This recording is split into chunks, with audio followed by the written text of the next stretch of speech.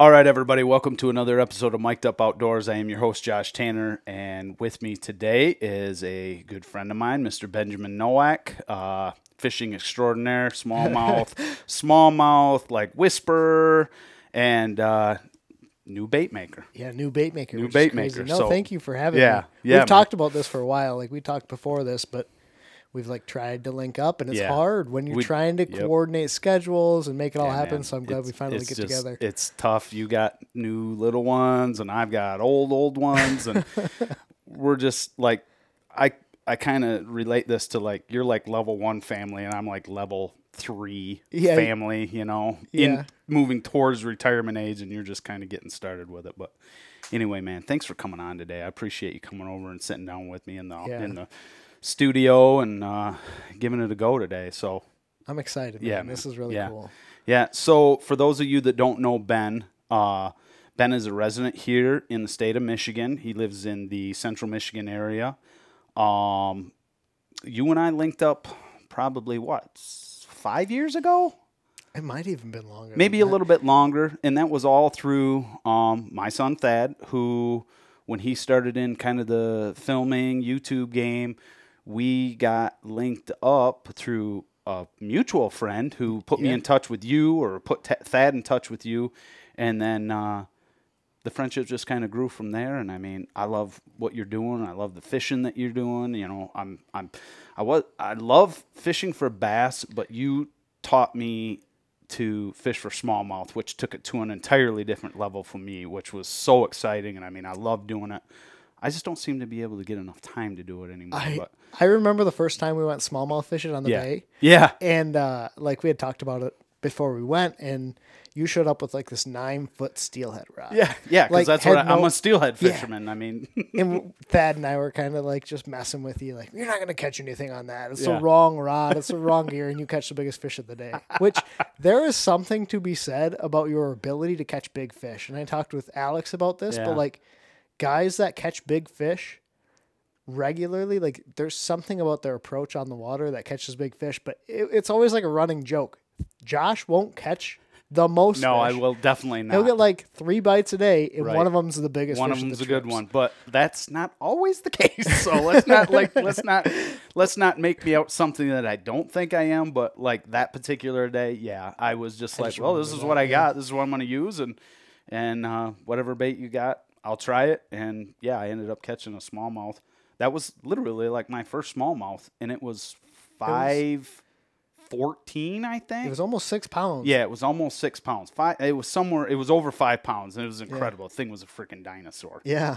So anyway, but so I guess just to kind of give everybody a little bit of a backstory, just tell me a little bit about yourself, you know, and you know, just a little bit of backstory so people have an idea on who you are and where you came from and where Yeah. you're at.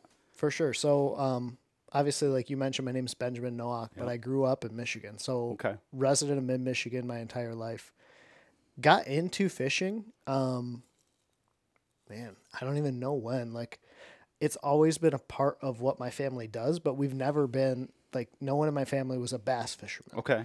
They just like to fish. So my aunt had a cottage on Lake 13 in Clare, Mm-hmm. and then my grandparents had a cottage on Sugar, uh, Okay. up in Gladwin. Gladwin, north of Gladwin. Yep. Yep. And uh, so we just go fish off the pontoon, and then I got really involved in hockey and lacrosse Okay. and every other. What age was that?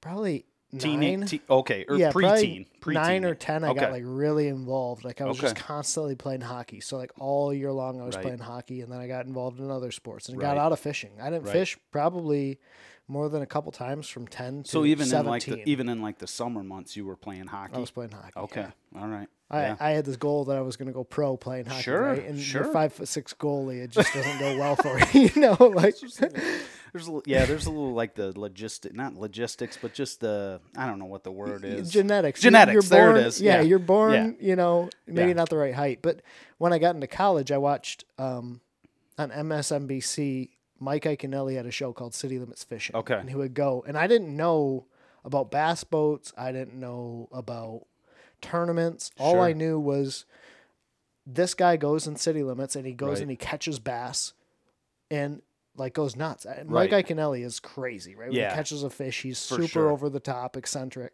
Yep. So that's how I learned about bass fishing again. And then I started fishing off the shore at um, Sugar Springs. Yep. And the first time I was ever in a bass boat was on Lake Champlain. I signed up for FLW, like EverStart, which is like a when you were a high event. schooler or when you were in Uh, col- at college? I was 17. Okay. So I was like going into college or maybe my first year of college. Okay. Um, and I drew Brandon Coulter, who now fishes the MLF series. Right. So he's like a bass pro. And Right. uh, that was the first time I was ever in a bass Oh boat. Oh my gosh. Well, from there, it basically just evolved. I came home and bought um, a 1994 Pro Craft, which was my first boat, Yep. um, for $5,000, right? Okay. Moderately. Like, uh, I'll take it back. Before that boat, I bought a 1989 Sylvan Sport Troller, Okay. Just an 14 aluminum footer. boat. Yep. Yep. And uh, 24, 25 horse on the back that like didn't Yeah. start three quarters of the time Sure. went to go. I owned one of those. yeah. it was it was a You Johnson spent motor. more and- time at the launch than you were actually on the water. Yeah, you're like Yeah. on the water and you're like paddling yourself back because you have a 12 volt trolling motor. It was Right. miserable, but it was fun. Like that's how I learned. Right. Um, and then from there, I went to the pro craft, Okay. and uh, that's really where I started in loving bass fishing. Sure. So um, I got the pro craft and started fishing the Sanford Lake Bass Club, which was a thing a handful of years ago. I met Andy Meyer and Steve Yep. Glenn, who's like two of the Kind of the OGs, OGs. in the area. Yeah, big, big, Yeah. like really well respected fishermen. You Yeah. know, you also have Gary Yarborough, like the OGs of the this area of You're right. bass fishing. Yep. Um, and they kind of took me under their wing and mentored me and like really taught me about the sport. Yeah. Um, I know I'm like kind of going all over the place, but I got into tournament fishing and I thought that's all I wanted to do. Right. I wanted to fish pro. I wanted to go fish the opens. I wanted to go do this, that, and the other. And I started college bass fishing. And that basically led me down a path of fishing tournaments. And then I saw opportunities to create content. Yeah. And uh, when you create content on local bodies of water where other guys are catching fish and you start showing spots, guys don't really like it. hmm So I kind of just got out of that and, and went back to just making content, fishing, filming. And that's how I met you and how we got to where we're at now. Yeah, for sure, for sure. I mean, it's it's it's been a little bit of a road, but uh, so why just bass fishing? Like you, you, you could have fished for anything. Why just bass fishing? Just because that was what you had available to you? That you know, you had Yeah. like your aunt lived on a lake and your, your grandparents lived on a lake or whatever. I didn't know anything else. Okay, I never got I- introduced I to had anything never caught, else. No, all I had caught was largemouth, crappie, bluegill, Okay, and the occasional bullhead or catfish. right. So all Right, just whatever inland, was in inland Lake lake, 13. yeah, inland lake stuff. Yeah. Yeah. Okay. And when you catch a bullhead, you take that bait and you just cut it off and send the bullhead True, back. Right. true. Like that was all I knew. Yeah. And so then, like when I saw Iaconelli doing his city limits fishing, catching Yep. bass, yep. and then I signed up for that bass tournament. I'd never caught a smallmouth before I went to Right. Lake Champlain. Right. Like That's I'm fishing crazy. a semi-pro tournament. I never even seen a smallmouth. Didn't know how to tie a Palomar knot. I showed up with a 1990s Berkley cherry wood Right. and uh, like a Fenwick HM, like super old school reel. Like I had three rods, Yeah. so it was crazy. But yeah, no, I don't know. Uh, I just got like obsessed with bass fishing. Right. Like I caught some bass and I was like, there's so much to learn, and it's been like a never-ending puzzle. Yeah. And I just can't like bring myself to get into other types of fishing. I think if I get into them, I would enjoy them, and like I'm just so focused. I'm trying to figure out the next bite. No, and I think that I think it's good that that's what you're doing, and I also think you might be shortchanging yourself because there are so many other incredible things. Like, eh, and we have talked about this. Like, I am ate up with like steelhead fishing, and and I love going salmon fishing and stuff, but more steelhead than anything. But you know, going and and you know smallmouth fishing with you, and and you know just bass fishing, bish, bass fishing in general. Like I get, I have a problem with whatever I do. I like get engrossed in it. Yeah. So now I'm not, I'm not good at. I'm not great at one thing. I'm moderately okay at like 20 things. And it's it's good and bad all at the same time. But what's really interesting, you look at some of the best, best bass fishermen out there, Mm-hmm. right? They're also very good multi-species angler, Right. right? Like uh, there's a kid Nolan Miner who fishes college or used to fish college, but he goes and fishes for anything, Okay. and he's so good because he understands how to read water, Yeah.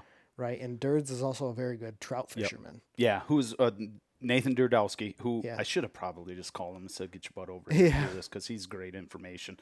He's a great local angler too, Yeah. and a, a friend of ours and stuff. But anyway, I'm sorry, I didn't mean to butt in on you there. No, but he can just like read water. But a lot of that comes from like how he grew up fishing and Right. growing up in small streams and rivers like trout fishing Yep. and like getting into it that way. And so I do believe like there are things I could learn, but I'm so caught up with bass. And to be honest, when I was doing this, I guess full time, like when I was working for Monster Bass Yep, and, and yep. doing this full time, there came a point where I'm like, man, I don't want to go bass fishing today. Like I just Yeah. don't want to go fishing. But now when I'm back to fishing one, two, three times a month, Yeah. it's like, okay, I'm going bass fishing. Like I'm going catching or I'm going like to Yeah. find smallmouth on the bay Yeah, or whatever. So, Totally, totally. Um, so I guess who those were the guys that taught you fishing? Like, did Oh, you yeah. teach yourself? I taught myself everything that I know, but like Andy was my mentor. Okay. Like Andy put me in the back of his boat for Thursday nighters for Okay. a full summer. And Steve Glenn, like I remember the morning I fished uh, the Big Bass Bash down at the Tridge on Mm-hmm. Okay. Halloween. Yep. I had pulled in super, super early because I dro- drove home from up north to come fish it. Yeah. um, Steve Glenn was the second boat in the parking lot, and he sat there and like talked to me like he knew me for years. Wow. I'll never forget that. And like after that tournament, it was Steve, myself, and Andy in the parking lot just talking. Okay. And then I got introduced to bait making through those guys because Yep. they're like, "Hey, there's a kid named Mike Hamlin who makes jigs." Okay. They're like, "You might want to learn how to make jigs. Yeah. It- It'll keep you busy through the winter, and you won't have to spend as much money on baits." Sure.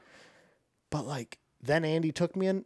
Um, well, then Andy took on my spring break from college. Took a week off to go down to Smith Mountain Lake with me Okay. to pre-fish for a college tournament. And then he was like, "Hey, you want to fish out of the back of my boat this year?" And so I did for a whole year. Wow. And uh, he's so good. He's so like you're like a sponge. Oh yeah, All I mean, just the conversation and old. watching. Yeah. just learning from Andy. Yeah. But like back then, really all Andy did was throw a jig. Okay. So like that's all I did. When I used to go fishing out of my pro craft, which had a, like a blown motor three quarter of the time, like yeah. it was a jig, it was a top water, and it was a frog. Like I would bring a, a Meijer bag Mhm. full of DNL jigs or do jigger jigs, Yeah. which were two ninety nine at the Sanford Sports Sure. Shop, Sure. and a couple packs of jigger cross, and I go skip docks. Like that's all I knew how to do. Crazy. And uh, then I just started like looking at other stuff, and that was the last year we fished together. Yeah. Um, but we're still super close. Like I could call Andy and Steve, and those dudes are. and they're like still mentors. local right now. They still fish. Oh, yeah. They still fish. They a lot still fish a They still win stuff. a lot of them too. Yeah. From you know what I had. So, um, you didn't hunt. I, I did for like a couple years, but hunting wasn't really what it was. Just just the patience. it was just like showing and up. stuff. Yeah. yeah, and I didn't like scout it. Yeah. Uh, my uncle has a place down the road. Yep. Um, he has that big farm. Yep. So uh, I would just go set up in his farm field Right. and whatever. Well, I'd never shot anything. Right, But- right. It's it's interesting to me because just kind of how I grew up and like you know my dad it was it was you know we trout fish we bass fish we we hunted.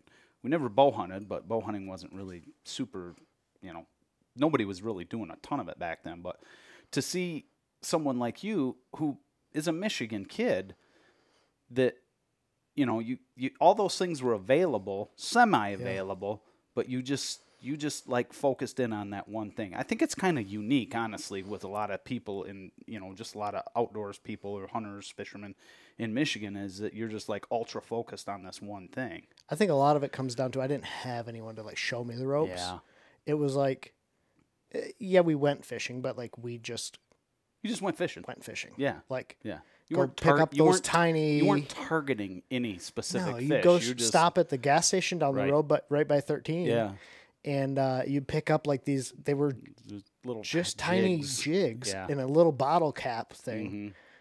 and that's what you'd fish with, with Right. like tipped with a worm, or Yeah. like you'd fish a worm in a bobber.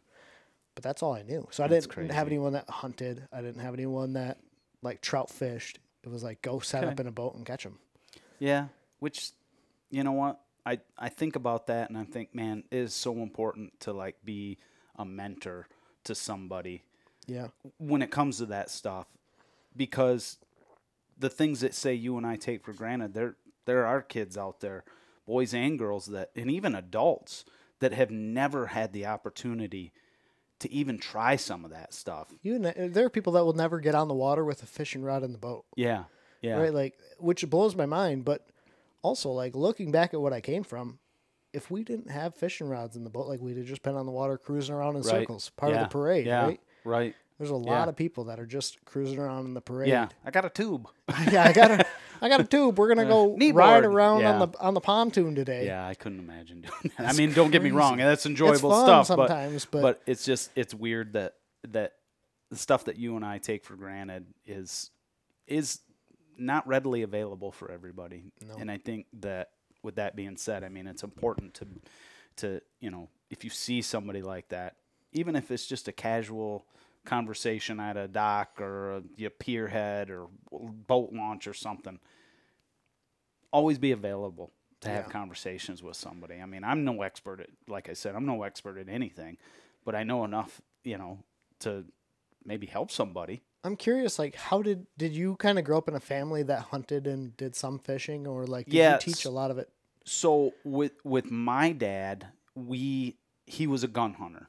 He was Okay. a, he was a gun hunter, and specifically a gun hunter. He wasn't a bow hunter, um, and he wasn't a he wasn't a bass fisherman. He wasn't he wasn't really. We never bass fished at all ever. Yeah, Um, but he was a trout fisherman. That's what he grew up as a kid because he lived around a lot of creeks and you know places like that. So he was always trout fishing as a kid, and that's what he knew. Yeah. So when when we were young, me and my brother, he would always take us up north around uh, the Pigeon River area, and there was like the Pigeon River or the Black River, and you know some of the other small creeks and, and rivers up there, and that's what we did. Like Yeah. we trout fished. When it came to the bass fishing part of it, it was just kind of like you. It was just like my buddies lived around here and like they had a, a lake that we could go to. We'd ride our bikes to it or or a swimming place that we, you know, they're like, "Oh, let's go fishing." And I mean, yeah, I don't know. It was just like you. It was just like, well, a worm and a bobber, I guess. I mean, there was never any technique involved whatsoever. I yeah.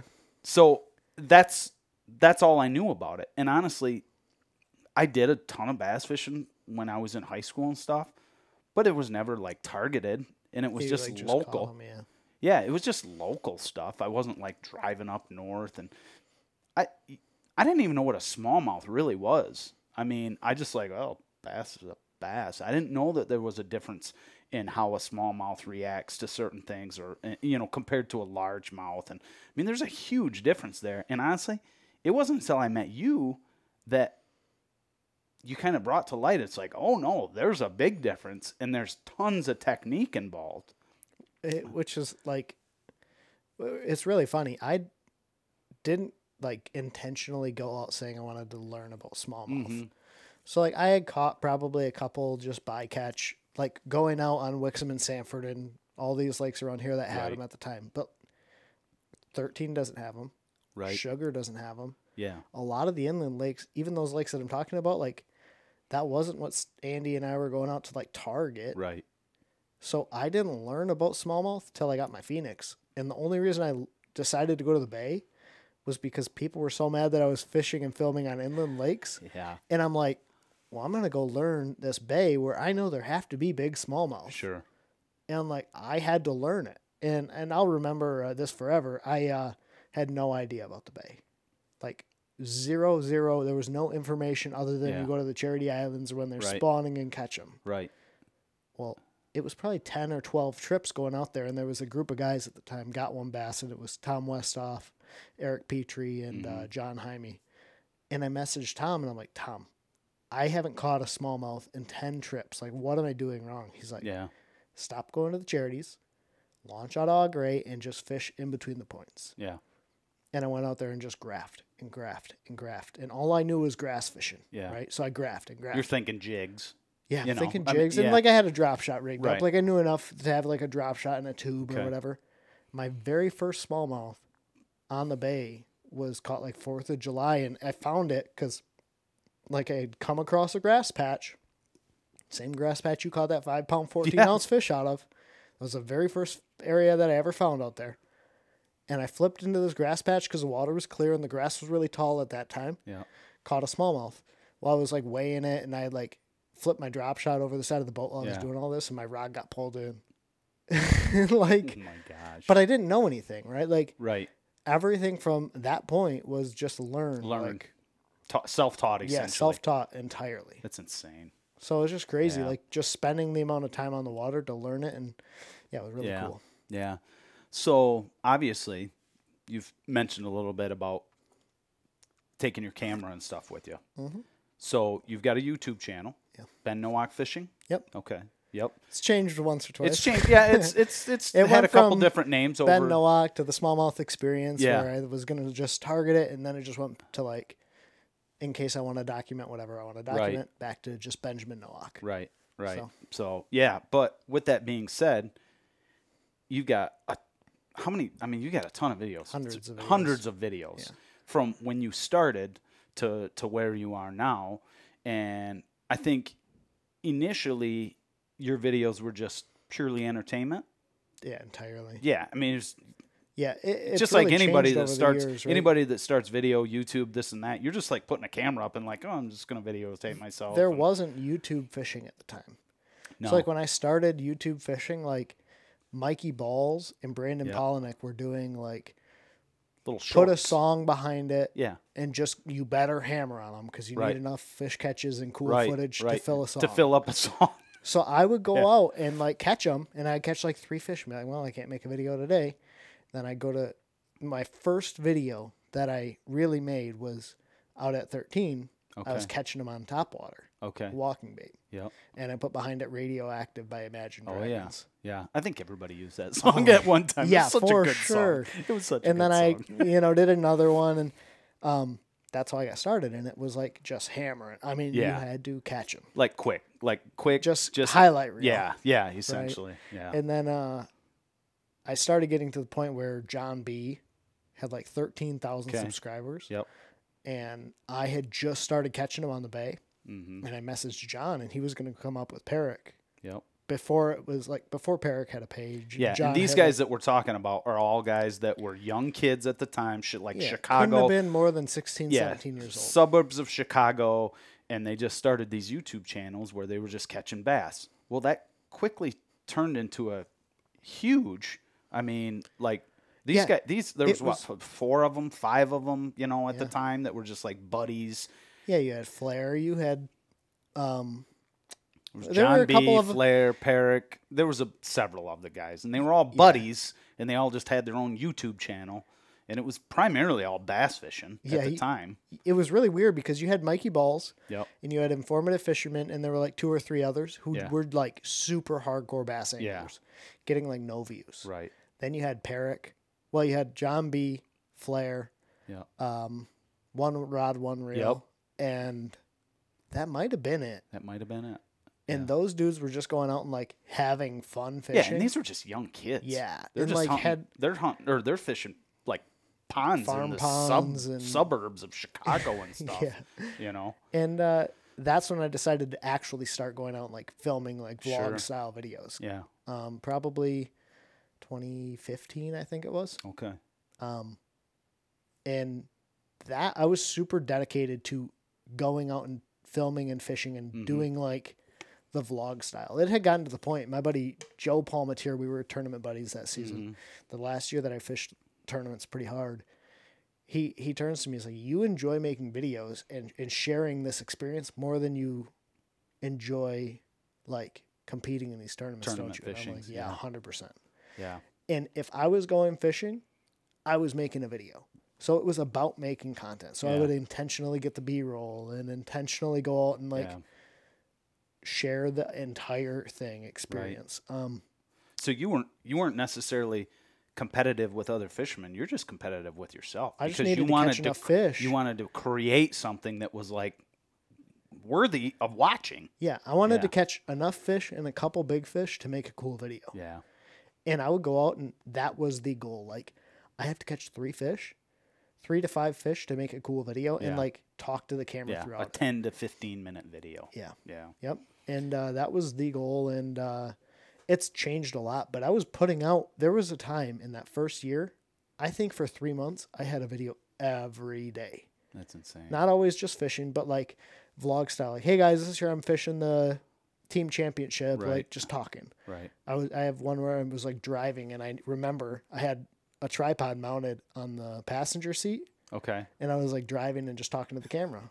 Like the first year I probably had 150 videos. That's crazy. And then I mean from there like life priorities changed. Sure. There were some other things that went down that like took me away from the content creation Sure. piece and then I really got into like I need to catch bass. Like Right. I want to learn how to be as good as I can be. Just ultra focused at that point. Yeah. And there's times I wish I could get back to that same level of like film, enjoy the filming process and enjoy the fishing, but like it's the balance is so it's hard. tough. Yeah, So it's hard. tough. So, what did you go to college for? Uh business did- did- management. you went to what college did you go to? yeah, I went to Northwood University. Northwood. Okay, in Midland. Yep. Okay, in Midland, Michigan. Okay. And uh they had at the time a four year MBA program. Okay. So three year undergrad, one year Yep. grad school be done. Yep. Um and I And started a fishing team at Okay, Northwood I was gonna say you created that in Yeah. Northwood. Yep. Okay. All right. end of my freshman year. All right. so then I got the opportunity to fish around the country, start to learn. Mm-hmm. Um, met some people that I still talk to today Yeah. through college fishing. Was college bass fishing relatively new at that time? it was super new. Yeah, was It was say. probably only three years old, okay. but like that was the foundation of me meeting Shay Baker. Okay. Yep. Um, because Shay and Jordan Lee were tournament part- partners, and Shay was like one of the best in the country. Yeah. Yeah. And Jordan Lee is Um, Jordan a professional bass fisherman. Just won the event on St. Clair. Yeah. Like he is one of the best bass fishermen in the world. Yeah. Yeah. Um, so these people that we're talking about, for people, because there's probably people that Yeah. are listening that have no idea. Mike Iaconelli, professional bass fisherman. He's the guys that you see on TV and super. They're just great. I mean, there's a difference there. There's these guys are like next level. Yeah, like those guys are the top pros. Like a lot of them. yeah. um, Mike Iaconelli, Kevin Van Dam, like Jordan Lee. Yep. These guys are the best in the world. Right. They're professional anglers who make a living bass fishing and not Right. just like make money bass fishing. Right. Like Yeah. really make money. Like really make money. So, yeah. So you went for your business degree, Yep. and at, that was at that time that you picked up your first camera. No, I didn't pick up a camera until I was done with school. Oh, I graduated in August and Okay. I picked up a camera. Uh, maybe I'd picked it up like once or twice, like Okay. a GoPro mounted it on Sure. the back of the boat. I think that's what everybody who started YouTube Yeah. started with was a GoPro yeah. Or something close to it. I think mine was like some knockoff GoPro. It was like forty dollars. It lasted fifteen minutes, and you're like, "Woo!" That's the Yeah, I think I have. I think I still have one of those in the boat somewhere. oh yeah, like yeah. just in case one of these goes down. Like I better have. This I got ten there. minutes worth of video and battery power out of this sucker. Yeah. So anyway, but no. Uh. so you you were doing some video stuff after college.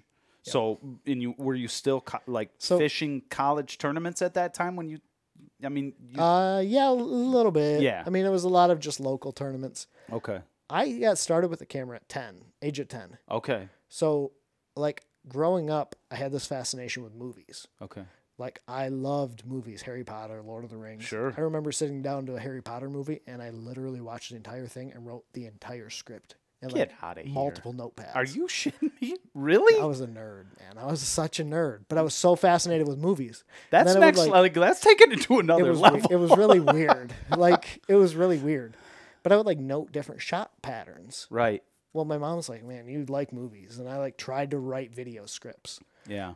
And so she worked with Darcy Brown, who is Okay. Jason Brown's wife. Okay. Well, at this time, so Jason Brown owns. Um, Well, at the time it was Rusted it, Rooster. it was Jack Pine Productions. okay, Jack Pine Then turned yep. into Rack Focus Media. Then Yep. turned into Rusted Rooster, and now right, it's and now it's it's Be Alive. Be I think Alive, Be yeah. Alive Studios or something. So yeah, for those that don't know Jason Brown, he's another local prodigy Yeah. in our area. He's from the Beaverton area. Started up, you know, just had a fascination with filming and stuff. Went to college. I think he went to Ferris. Ferris. yeah, maybe I feel like he went to Ferris.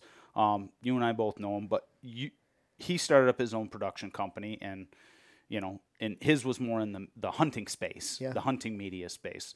But you got in touch with him. I got in touch with him when he was doing weddings Okay. and he was doing like photo montage videos, which was a big thing when like in the early 2000s, yeah. right? Like where you'd literally take a f- film camera Right. and you'd take a photo and set it on like a camera stand and you'd have it on then you put the next photo Yeah. take a pic, take a video of it three Yeah. second video three second video and then you'd put them all together with some music in the background Right. like physical photos because you didn't really have digital photos at the time Right. well that's what that was how i learned and uh, then i hooked up with jason again my senior year of high school Okay. uh, as like an intern Okay. um, and i worked for him when he was starting with the Kiefers. Yep. Kiefer Brothers. Yep, the Kiefer brothers, who are now like part of Be Alive, like they're Correct. co-owners of Be Yep. Alive with Jason. But they had just prepped; they were prepping for the first season to drop. Dropped. Now looking back, hindsight's twenty twenty. But I was in the room and like wish I had been more involved. Yeah. And to like be a fly on the wall is dropped season one. yeah. Because that know, was really like they were just planning. that was it. really quite revolutionary at the time. Yeah. Nobody was doing what they those guys were doing or Yeah. planning to do, I should say. And I still remember, like, those guys were just meeting with Jason and like starting to build rapport, and they were like coming over more and more, and it was Yeah. really cool to And see the and you're process. and you're just And I'm sitting in this office, dude. I can remember the way the studio laid out. My office was probably, you know, a 10 by 10 room with a Yeah. computer in the corner and a disc burner because Yeah. all you had were CDs. right. So my job was to burn CDs. So I'd take discs and put them in this five to eight rack thing, oh put the master in, and like change it hundreds of videos. and then like right there, that wall, Jason and the Kiefers were having meetings. And I'm like waiting on this disc burner, like throwing Yeah. the ball up in the air, like editing videos because Yeah. Jason was still doing wedding videos at the time. So I was helping him edit. So he taught you how to edit then. Oh yeah. Yeah. Every every step of the way. Really. Yep. Mm. Yeah. That's crazy. But yeah, so that's how I got involved, and then kind of just came back with the GoPro thing. Yeah. Um, but yeah, That's crazy, crazy. So, I mean, your stuff, like we were tell- saying earlier, your stuff has evolved. Your videos and stuff that you've done, it started out initially as entertainment. yeah, I mean, I, I, it'd be like the B roll and like, yeah. me telling the story in the vlog. Right, And now right. it's like now it's purely educational in Very my, much. in my idea. I mean, and you're like you're so good at being able to relay information to people in a short period of time and Thank like you. it's very compartmentalized like it's very understandable it's not like there's not a lot of gray there's area no or fluff. wishy It's yeah like yeah it's like I sat down with an outline, and I'm Right. like, okay, these are the key points of this technique, and I need to teach them. right And it is really very much so like educational. Like I'm going to teach you about a technique or Yeah. a situation, and I still enjoy making the excite like the entertainment pieces. Yeah. but it's it's a totally different. Like you have to be in a different mind space. sure Um, Thad, your son is like Yep. very much good at doing the B roll and the filming Yeah. and like the entertainment pieces, and I Right. just don't have like. I, I don't have the, focus the eye or maybe Yeah, not the yeah, eye no, for it but the eye, the focus. Like you look at these guys that are really, really, really good, the Brian Evies, the Thads, the, the guys that are really good in the video realm. I don't have like the focus or desire to do that anymore. It's very much like I'm going to teach you how to fish and I'm going to teach you how to catch them the way that I know how to catch them. Yeah.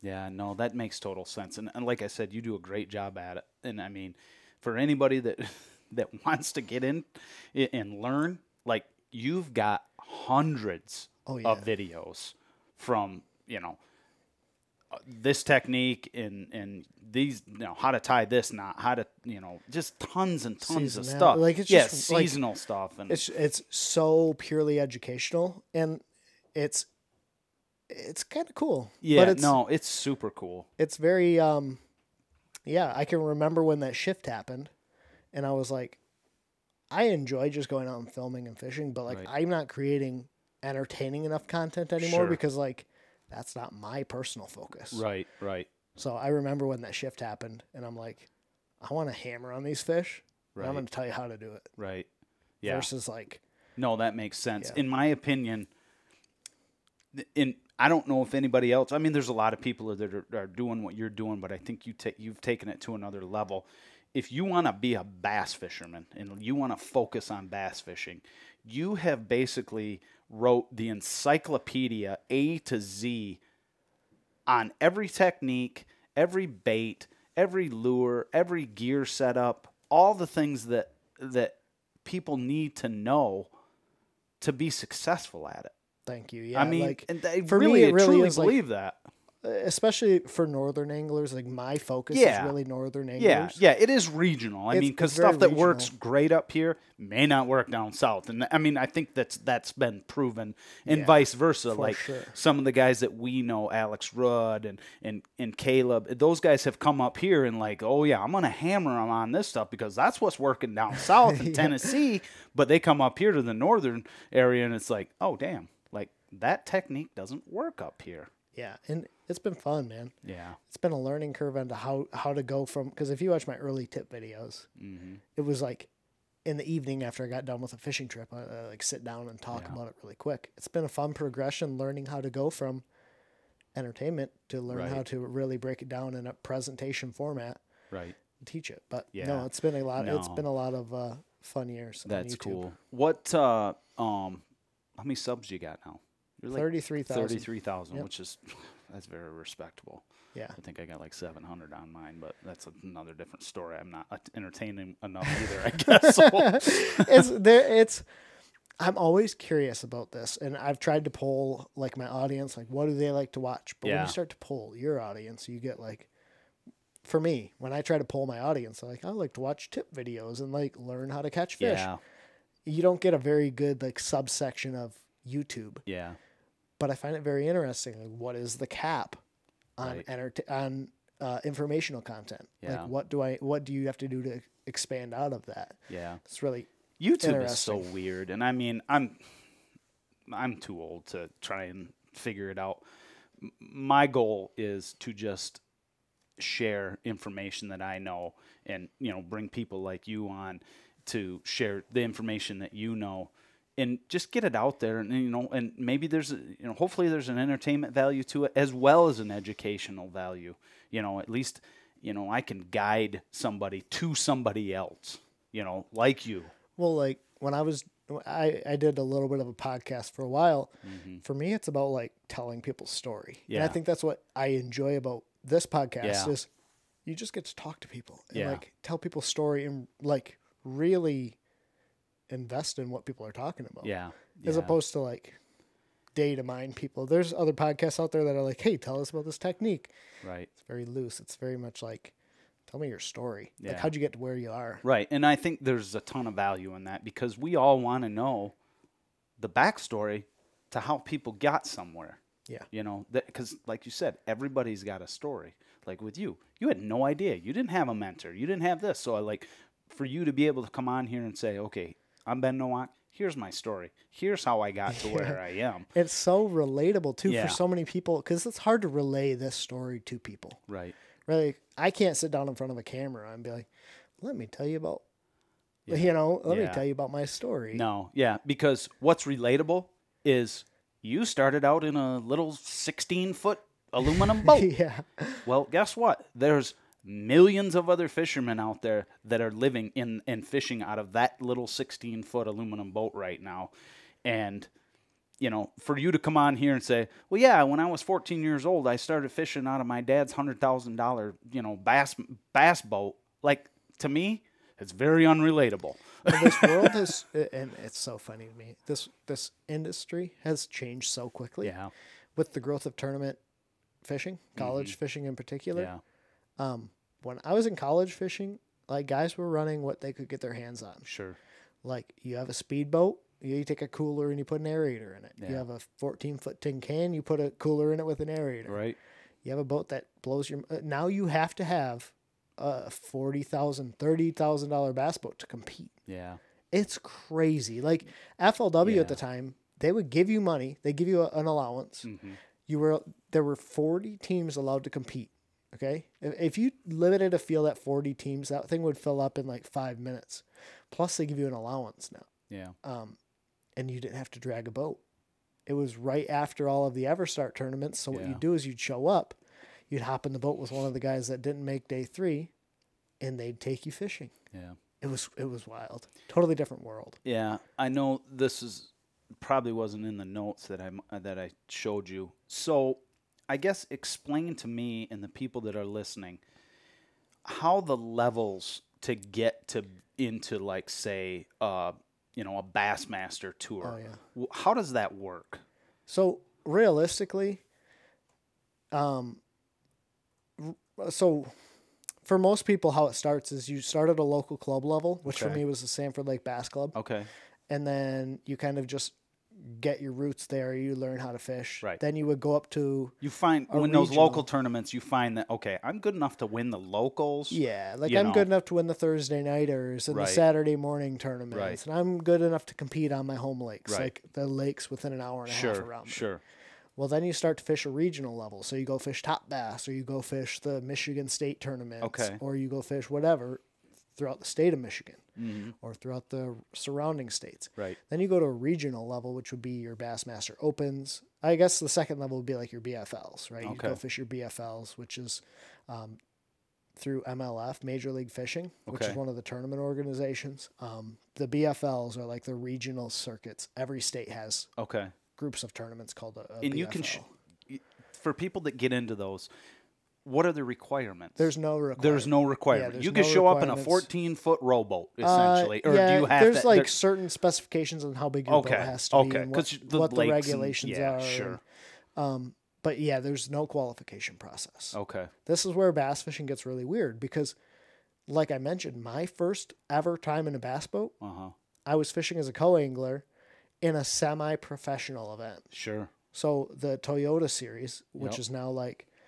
the league right below professional, like you qualify through the Toyota series to qualify to be on the MLF tour. okay Well, I had signed up online and was a co-angler, so I was fishing as um, you basically ride with a guy who owns a boat, sure and they take you to their spots, and they they're trying to compete on a boater side, okay and you're competing against other guys that so those guys are competing to boat. get to the uh, to qualify to fish in like a an MLF Yeah. or a BASS or Yeah. whatever to type level Yeah, and I'm just Yeah. fishing out of the back of the you're boat. yeah I do nothing. It's so crazy because you like you like you jumped you like skipped the line uh, so to speak. yeah, I didn't know. I didn't know the process. Nobody told you "Well, that's not really how you should no, start. No, I showed up. I might have had a 16th ounce drop shot. So like, there's a technique called drop shotting, Yeah. which is a weight below your hook. Yeah. For smallmouth fishing, it's one of the most prominent techniques, Sure. especially during the summertime. Well, Right. On Lake Champlain, a lot of times in the summer, those guys smallmouth fish with a drop shot and like 25 foot of water. Right. I might have had a 16th ounce drop shot weight, Yeah. which is so, so, so light. Like if you're fishing in anything more than 10 foot of water, like you got to have a quarter to three eighths Right. to half ounce. Right. So your stuff is just like slow. But dude, I didn't catch down. them. Yeah. I got beat. Yeah. My eyes beat in. And I'm like, well, I might have gotten a little bit ahead of myself here. I don't know shit about this. yeah. And I'm going to this tournament and I'm like, I'm going to win $10,000. I'm going to go win 10 grand. But you don't know, right? Confidence, man. Confidence is key. so yeah, you have your BFLs, which is regional level or state level. Then you have your Toyota series, Okay. semi-professionals, which is regional level. Okay. Um, or you have your Bassmaster Opens, and then you qualify to fish the BASS Elites Okay. or the Major League Fishing Bass Pro Tour or the Invitational Series. And those are the big ones. Those are the big dogs. Those are the tele TV. Yeah, those are the TV. They're on TV. Yep. All the stuff you see on like the outdoor channel. But what's crazy like about that. bass fishing, man, there's no path. Like there's Yeah. no path that says you have to follow X, Y, Z path. Okay. if a newbie wanted to go and had the money to sign up to go fish all of the regional leveled events, the Toyota Series, the Bassmaster Opens, you could do it. Really? Oh yeah, you have no, no You just got to have funds. FLW Tour, which is used to be the top tier of bass fishing, one of the top tiers. Yep. If you owned a Ranger boat, you could get priority entry into the FLW Tour. Because Ranger was a sponsor Yeah. of that tour, and that's like that's what you had to Yeah, have, could- right? Uh, you could run other boats, but you'd be like, all the Ranger owners get priority over you. Okay. Okay. So like to enter the tournaments. So there's a guy, I'm not going to name names, but there was a guy who bought a Ranger boat, yeah. literally had never bass fished. Like work Shea Baker works with him. Yeah. Had never bass fished, but he had a ranger, wanted to be a professional tournament angler, so he paid the entry fees. How much was an entry fee Uh, at the time? eight thousand dollars Wow. for one tournament. Wow. So fifty thousand dollars for the year Yeah. And a hundred thousand dollar bass boat Right. That's a and that's big. practice and I mean he probably had two hundred thousand dollars in. I mean, Yeah. it's it's sickening. he had a lot of money to begin with. I'm Yeah. I'm, ass- I'm sure you can't just Or you go max out do credit that. cards, yeah. right? But, yeah. like- exactly. It's crazy. There's no path, so no one tells you like this is what you have to do. You don't have to qualify to fish semi professionally. Like It's the wild. only thing you have to qualify for now is a professional series, your Bassmaster Elites or your Mm-hmm. MLF BPT. Hmm. It's crazy to me. That is insane, man. That is insane. So, um, did you ever think when you got started in this that this is where you would be? No, Because you got some big stuff. I mean, One of there's my, some stuff uh, going on right now in your life. It's pretty exciting, to be honest with you. crazy things. Yeah. I've helped design rods for Temple Fork, Yeah. which was a company that I worked with when I was in college. Yeah. Like I met them at the national championship. They Yeah. gave me a fifty percent off discount code, which was a big deal at the time. Yeah. I bought some TFO rods like twelve years ago. Right. Now I'm designing rod blanks and models for them. That's insane, dude. like, Um, and that's not just it's not just Temple Fork. I mean, Yeah, you've done a lot of stuff. Yeah, the stuff you got sitting in front of you. We'll get to that. We'll get to that. Yeah, I mean, people are coming to you for tips and information, man. Like one of my very first YouTube video and and I guess series, quote unquote, was Yeah. a series called Open Up Okay. Because I wanted to fish the Elite Series Yep. out of college. Okay. So I bought a Phoenix boat, and I was gonna go fish the Bass. Mortgaged your life. Yeah, Well, I I had guess- no, I had no, well. I had no, uh, ex- I had no debt coming out of college. Right. I didn't have student loans. I was still living Right. at home. Right. So what makes most sense? Let's go buy a fifty thousand dollar bass boat. Right. Right. At the time, they were only fifty thousand. they're only fifty grand, right? The next year they jumped up in price and so on and so forth. Now bass boats are rid- Yeah. incredibly ridiculous Yeah. house prices. Yeah. But um, yeah, it was a lot of money. Yeah. But I wanted to fish Bassmaster Opens and fish the Bassmaster Elite Series, the top, Right. be a professional fisherman. Sure.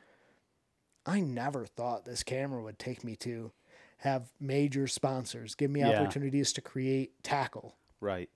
Like if we didn't have the audience I have on YouTube and social media. No. This wouldn't be possible. Those rods wouldn't be possible, regardless of how good you are. Nobody would know who Ben Nowak is. No. a- Nobody. no- I mean, nobody other than the local nobody. people within your little circle. Yeah, You right. know. Nobody wouldn't have known. Yeah. Right? Like- and and that's really the incredible thing. Like, like I have this love hate relationship with social media because it is used for such crap.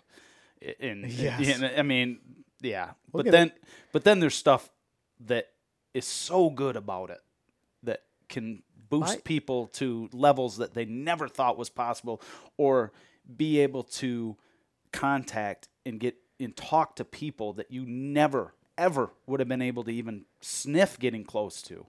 Yeah, That's the great thing about it. it's crazy to me.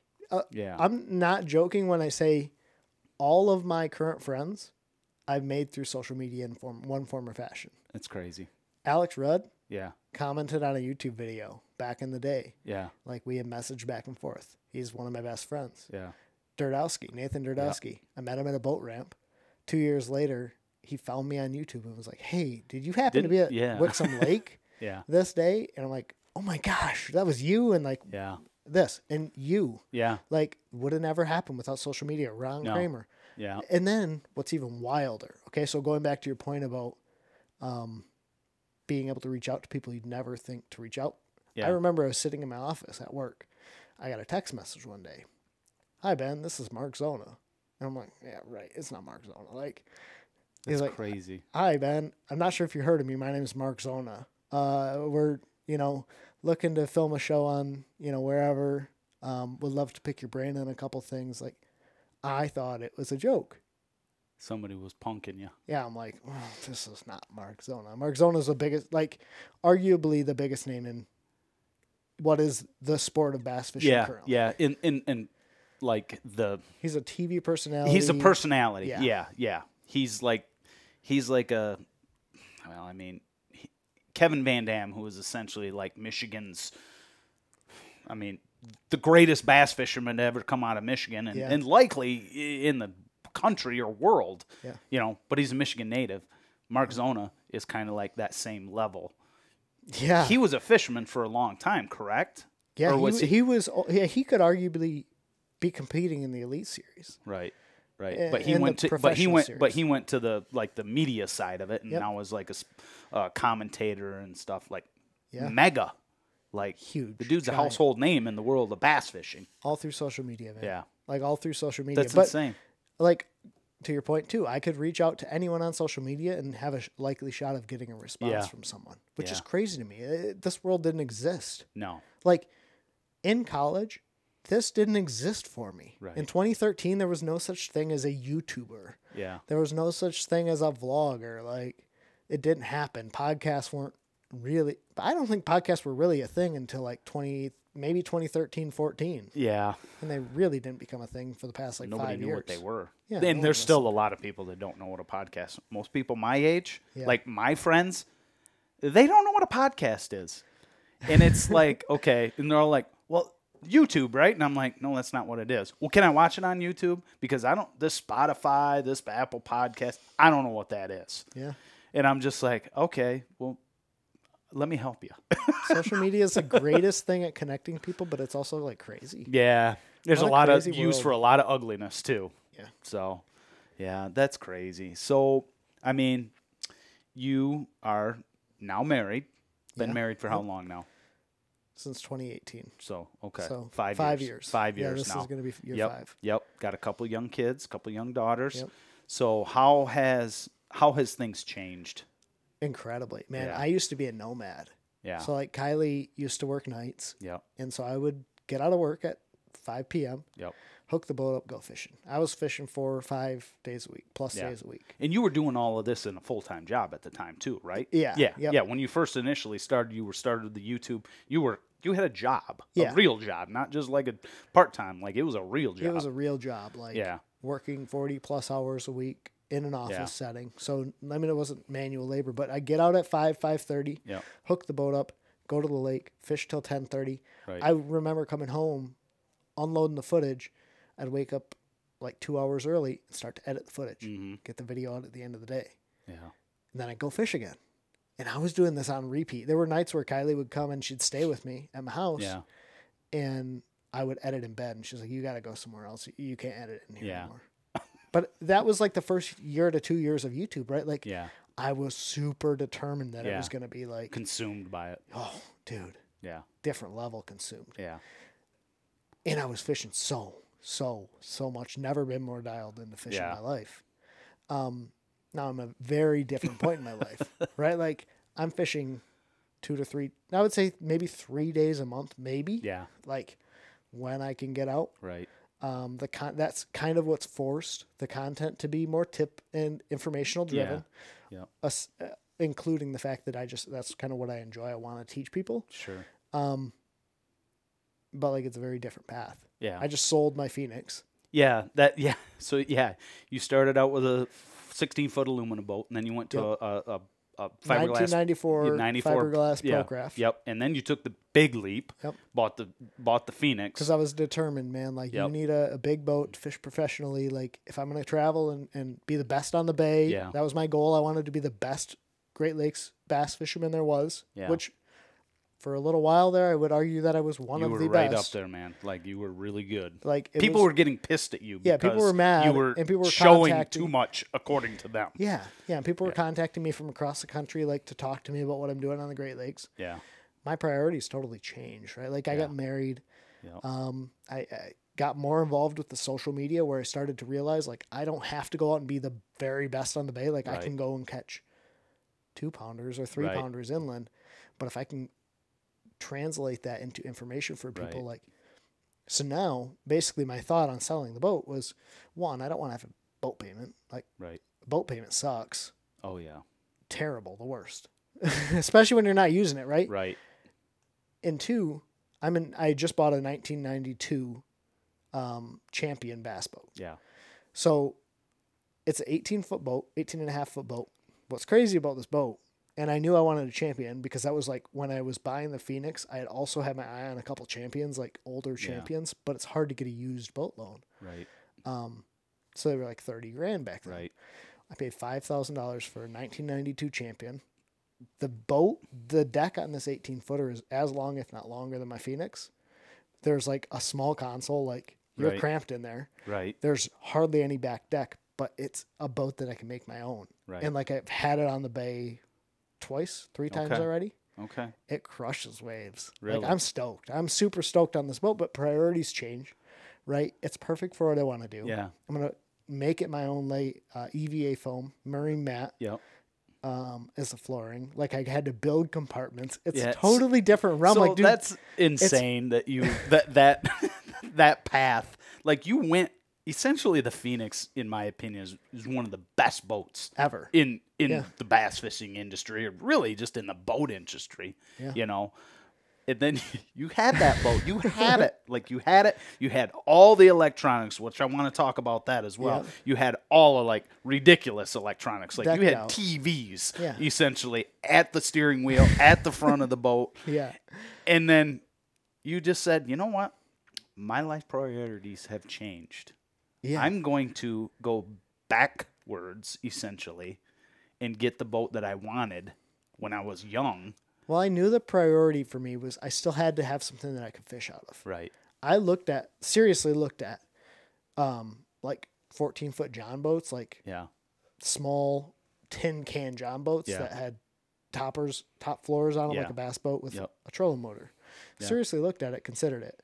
They wanted like twenty five hundred dollars Right. for these John boats, and I came across this fee or this champion, Mhm. and they wanted I think seven thousand dollars. I went to look at this. I went to look at this champion, and this guy rolls in with this boat. It's the bottom was like covered in barnacles. It, it sat in the water. It sat in the water before time. him, right? So b- the owner before him had it sat in the water. He had it sitting out on the edge of a cornfield. So it had like it had overspray from road paint all over the motor, all over the side of the boat. Um, I'm like, dude, I'm not paying you seven. Uh, I'm not paying you seven grand for this thing. I opened up one of the live wells, and where the water flows in, there were little tiny dead mice in there. Oh my god. So I offered him five grand Yep. because the hull and the motor, if I could get it cleaned up, was worth Yeah. that. Yeah. Dude, the first like three weeks with this boat were crazy. Yeah. Um, the bones were good. Yep. The bones on the boat were fine. Yeah. Had two decent Lowrance graphs, Okay.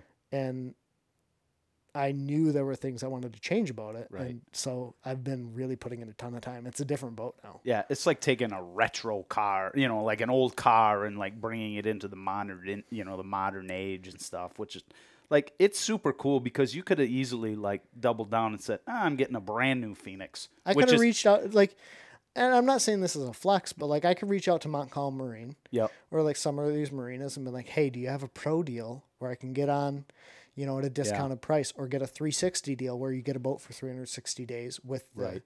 um, expectation that you're able to sell it for full price Sure. or you have to pay the difference. Right. Like you can probably do that. It's not that difficult. but Right. I knew like that wasn't my goal. Yeah. Like yeah. I wanted a boat I could seriously, dude, I had to build, I'll show you pictures. I had to build the boat deck. Yeah. So like these old boats only had half of a boat deck okay. that had like seats on the side.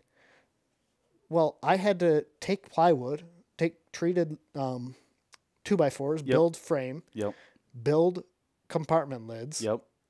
like ripped out all the carpet, sand out in the flooring. See, I just I think that's so cool that that's just a proving that like you do not need No, dude. the biggest, baddest, best, most expensive rig out there to go, you know, fish these tournaments or whatever. And I know a lot of people Some don't it- do that, but people think like, oh gosh, you got to have that, you know. When I was selling the boat, that was kind of what turned me that way. Because there was part there was part of me that was like, well, I'll sell the Phoenix and get something pretty nice. Yeah, I'd like spend thirty thousand dollars and Yeah. go get something very well decked out already. yeah, pretty nice newer.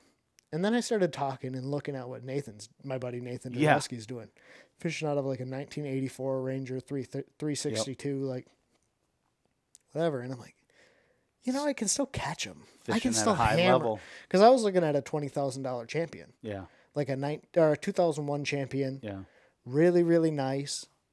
I'm like, do I want to spend 20 grand when I can spend five grand? Yeah. I'll, I'll probably, when it's all said and done, I think I'm going to have $9,000 into this boat. Yeah. It's just fishing. Dude, it's, it's just fishing, right? I'm going to have nine grand paid off. I already replaced the trolling motor. It's got a Garmin Force Okay. trolling motor. Um, I have a Garmin graph on it. Yep. Like my, we can get into the electronics. Yep. My style of fishing very much is electronics driven. Yep. Like that's something I really, really Yeah. enjoy, which is co- totally opposite of how I got Mm-hmm. into the sport, which was very much feel like you better go be able to find cover that you can flip and fish shallow. Um, but I love looking at the the graph and finding Right. fish deep and suspended and catching them finesse. Yeah. And so I have live scope on Yeah. it, and essentially, I have you can do that in any boat. You can do it in anything. Yeah. You could have done it. I was gonna do it in a John boat. Yeah. I was because a lot of what I enjoy, like the bay's cool, but what was cool about the bay is no one was doing it. Right. right? Like you and I have talked a lot Yeah. about this. What makes the bay so cool is you're fishing untouched water. Right. None of it's untouched anymore. No, no, it is definitely not untouched. Now it's like what I love is going and fishing those small inland lakes and really like um, I don't want to say exploiting, but really figuring out what's in there. Yeah. Like there's some of those inland lakes where we're catching close to 30 pound bags of smallmouth that are small, Yeah. right? Yeah. I know. That's crazy. and I just love like that's my passion now is going and exploring these smaller bodies of water and and I knew that I could do it with a Phoenix or Yeah. uh, a 92 champion. Yeah. I didn't yeah. need the Phoenix. it's kind of funny. Thad, when we met, Yeah. he went in your Phoenix and he's like, Dad, that I gotta have a boat like this. I gotta have a boat like this. Well, he ended up finding that Skeeter, which was an old Skeeter, ninety. I can't even remember. It was, old, beautiful but it was a absolutely Pristine. beautiful bass boat, and he had it. And I mean, he rigged it out. Yeah. He had Garmin up front, you know, uh, new tr- uh, yeah, yeah. Ultrex trolling motor. I mean, it was pristine. After about th- man, two, three years of that, he just decided, you know what, I don't, I don't think I need this. You know, granted, he was young. Like he bought this thing, I think, when he was 18, so he was super young when he bought it, and he realized that he could still fish everything that he wanted to fish. You know, gr- granted, you could go out to the bay, but it's got to be on a, a good weather day. But that's with any boat, you know, that he could he could still do all the things that he has done in this really nice bass boat in just a regular john boat, and that's exactly what he did. He And there's that- part of it and Yeah. and you can probably attest to this. Like when you're fishing out of these nice boats, like it's just it's a vessel, right? Like Yeah. it, it really and that's not like punny. It really is just the vessel to get you there. yeah, But when you know you're having to make a boat payment, or you Yeah. know you're having to like, I don't know. There's part of going back to like your roots of like Oh, yeah. having the nicest boat, right, right? And right, like, that's really refreshing to just Yeah. like get out and go and like not have to think about the craziness of right. I don't know. Yeah, it was don't know how to weird. So yeah, he sold that. He sold that boat, bought the current boat he's got, which is a tiller, sixteen footer. Essentially, it's a it's a John boat. Yeah. We went up north a couple weeks ago, and took the boat and Yeah. went fishing. And I just from what you had taught us, and and you know the things that I just kind of knew, we went and just started fishing this lake. No electronics, just cruising. And I knew what I was like wanted to look for Yeah. because the water was super clear. Like we caught a bunch of smallmouth, and I was just like, we just freaking did this Yeah. out of this rickety ass little sixteen footer. So I mean, it's like Yes. it can be done, people. It, it absolutely can be done. You do not have to have the best of the best, but And it's just about what you really enjoy, right? Like there's Yeah. something really enjoyable about that. Yeah. Like doing that, Yeah. right? Like for me it's really enjoyable.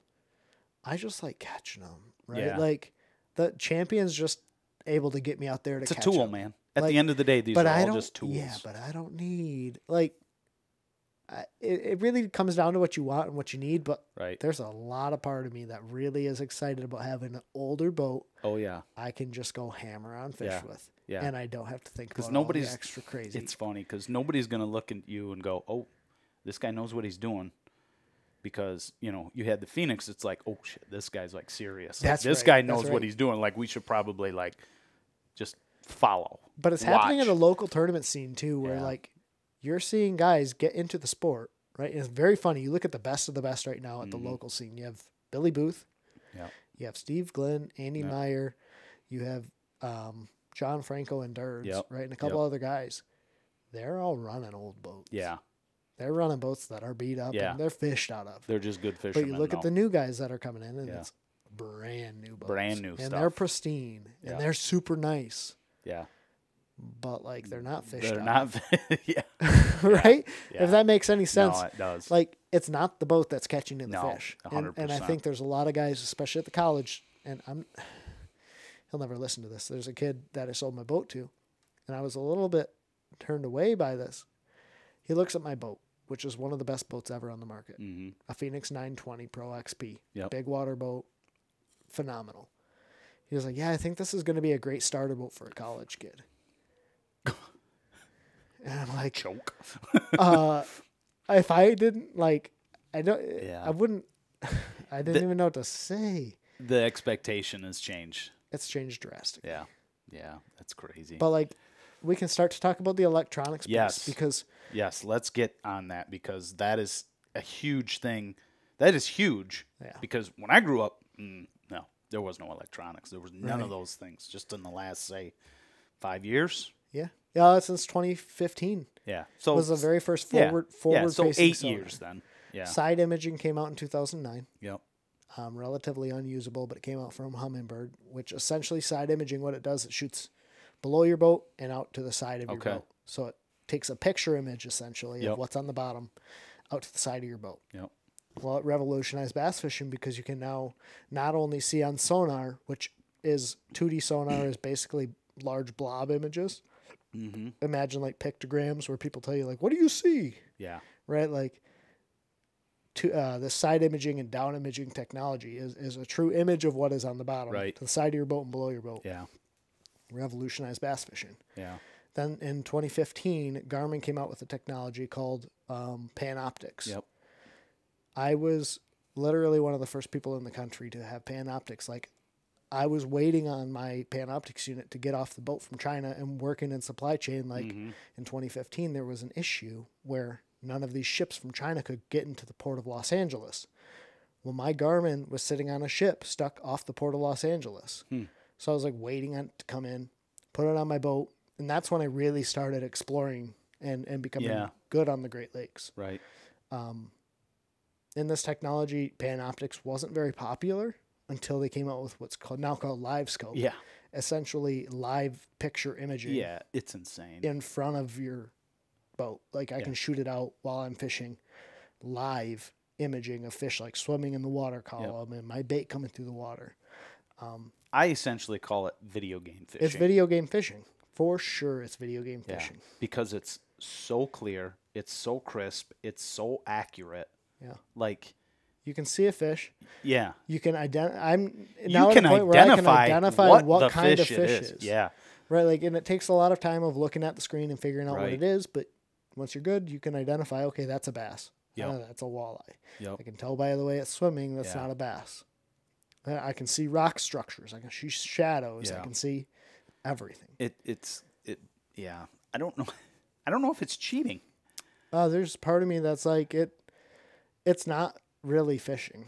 It's Yeah. going around until you see them on your graph and learn how to catch them. Like figure Right. out how to trick them into biting. Right, because like when you got that and we were going fishing together, I'm looking at that we graph. you never you never picked your head up to look No. anywhere. You essentially were casting with your head down because you knew okay that fish is 30 feet out there. He's seven feet down. So you we would be standing behind you and you'd be like okay just cast over here 20 feet you know or 30 feet whatever.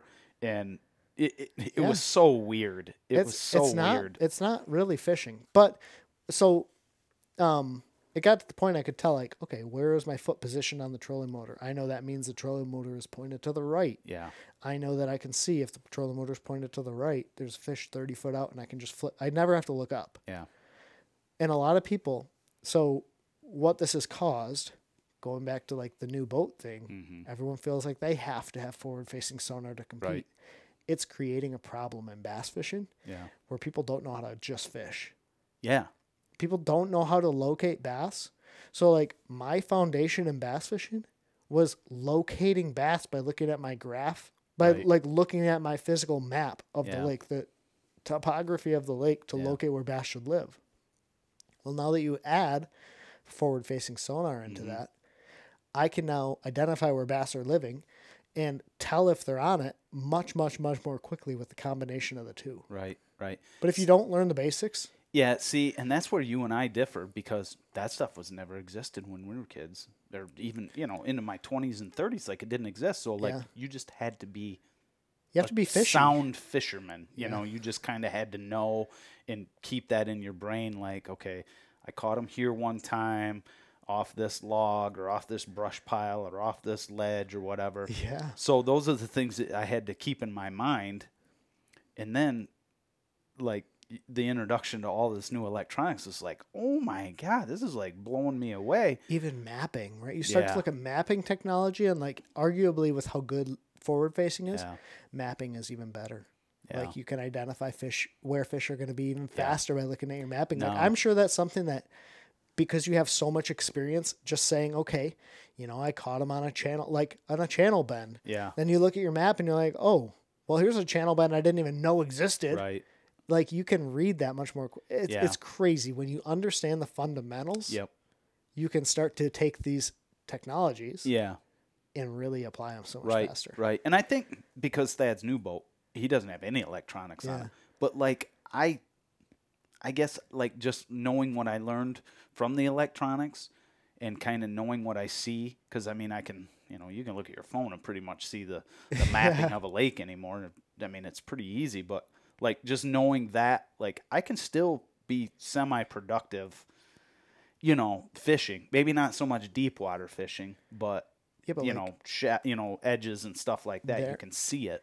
Yeah, but there weren't there weren't deep fishermen really. I mean, No. for for the most part, Right. like until 2013, there was a guy named Mark Rose who's a professional bass angler. He was dominant in deep water fishing. Yep.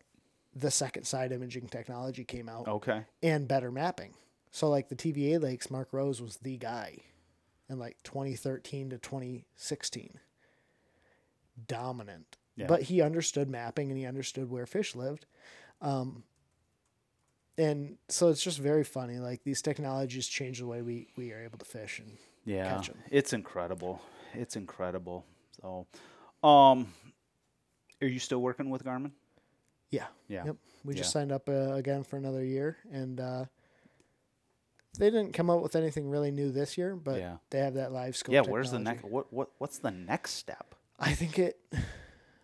So there's a technology from a company called Humminbird Okay. 360 Yep. imaging. Yep. Takes a 360 image around your boat. Okay. Um, I think that's going to be. So it's just that'll it's like next. sonar. Your boat's the center of it, and it just spins around. It literally spins around in this cone and like.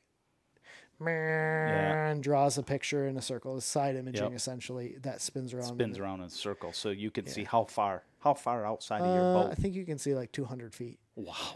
Yeah, so you So can see further reef- than any cast. yeah, you you, know. can see like reef edges. You can see, but it's not live, so that's the downfall of this Okay. technology. I think that's the next place you start to see sonar technologies Mm-hmm. go. Um, I would expect to see some advancements in mapping. I think Yeah. that's the next thing is Yeah. like community mapping. So like when you're out graphing or you're out, I think I think companies are doing this without us even knowing Yeah. especially when you hook your phone up to your graph. Like, I think they're technically getting mapping and not telling you they're doing it and sending it back to their feedback system. Really? I, I have to believe. I don't know how you get all these high definition maps of all these Yeah. various bodies of water. You can't pay people enough. Right. Um, so I think mapping is next. And then I think the technology of like augmented reality where you put on a pair of glasses Yeah. and like you can see the contours glasses. Yeah. or Oh like my you can see your fish finder through your glasses so you like look i think that could be the next It's two insane. It's so hard to believe that it even would It's- even exist. But in I, this i'm day kind and of at a point Yeah. where like i don't want it to get any easier. like this is yeah, i'd be okay if it stayed right here right. Even right. with live scope there's parts of me that are like man i would just like to go f-. like there's times i'll turn it off and just fish wouldn't it be interesting to start seeing tournaments that go to like what old school tournament. Like no electronics, boys. I would We're love if you just could just have a ma- fish. I would love if you could have a map and you could have just basic like a flasher 2D sonar that tells you the depth Yeah, just to keep you safe, right? yeah. It would be interesting to see how many people would be successful in a tournament without. Changes. A lot of these young it. kids wouldn't make it. I probably I would definitely not. I Yeah. mean I You think have a I little bit enough of I have knowledge, enough yeah. knowledge where I can be okay, but it changes everything, man. You'd be like blind. Yeah. It was hard when I got this boat and I was like fishing the first couple times. Yeah. It was different because I'm like, oh crap, I don't have my eyes. Yeah. Like yeah. I'm gonna go. I don't have my X-ray vision. I went out to Bud. yeah, I went out to Bud Lake, which is moderately clear. Yeah. and uh, I was on the trolling motor just flipping grass edges. Mhm. I ended up catching a few fish, but Yeah. like that is how I used to fish. Yep. You know, I'm fishing the inside grass line. I'm fishing the edge. Like Yeah. I'm fishing docks. Like Right. it was cool. It was Yeah. refreshing. There's No, parts was- of me that yeah. really there's part of that that's just like, man, this is this is fun. yeah. This is fun. What's uh what's your favorite technique?